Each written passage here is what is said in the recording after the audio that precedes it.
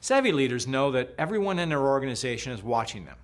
You know, it's not the proverbial big brother that we fear, it's millions of little brothers and sisters armed with smartphones that can take pictures and videos and just send them around the world in minutes.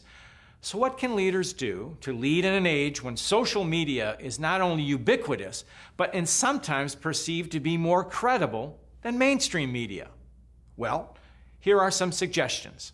One, lead with integrity.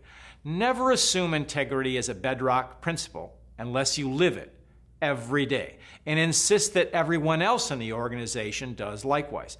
If someone in your organization makes an ethical transgression, discipline him or her immediately. Don't assume the problem will go unnoticed. Two, be transparent. Assume everyone's watching because they are. Leaders need to be open and honest with those they lead. They need to explain their actions and hold themselves accountable.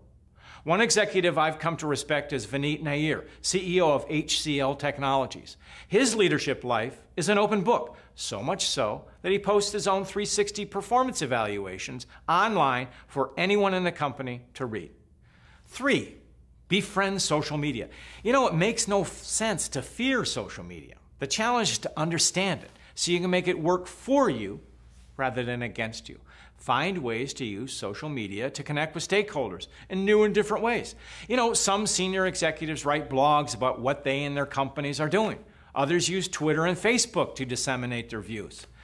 When it comes to leading out in the open, the challenge is to connect with stakeholders in ways that are meaningful. That means listening, responding, understanding, and reacting in ways that demonstrate you get what others are saying and you will consider their ideas.